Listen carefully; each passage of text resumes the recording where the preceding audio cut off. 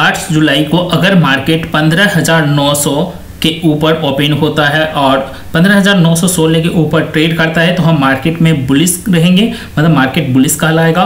और अगर 900 15,900 और 15,800 के बीच ट्रेड करता है तो मार्केट को साइडवेज कहेंगे।